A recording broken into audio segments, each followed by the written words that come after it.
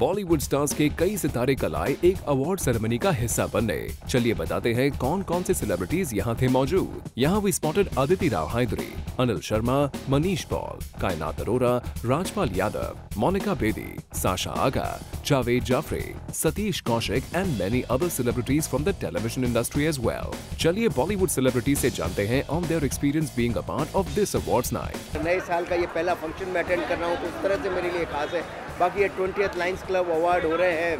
And uh, मैं उन सबको uh, देखने आया हूँ जिन जिनको अवार्ड मिल रहे हैं और आई एम वेरी हैप्पी कि चलो साल के पहले साल की शुरुआत में कुछ लोगों का अवार्ड मिलने से हो रही है। Uh, मेरे लिए बहुत खास है क्योंकि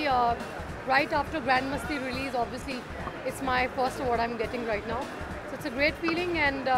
hoping to have a great evening यार ये मेरे लिए बहुत खास है बिकॉज़ आज यहाँ पे uh, मुझे uh, एक अवार्ड से नवाजा जा रहा है। सो बड़ी बड़ी खुशी हो रही है उस बात पे और सुनने में आया कि यूनानिमस डिसीज़न था। सो फील्स वेरी गुड जब से लायंस क्लब स्टार्ट हुआ है they've always taken up some really very important causes और इस साल भी I think they've taken on the initiative to spread awareness about thalassemia जो I think a lot of people don't even know about thalassemia और ये एक बहुत important चीज़ है that they are doing for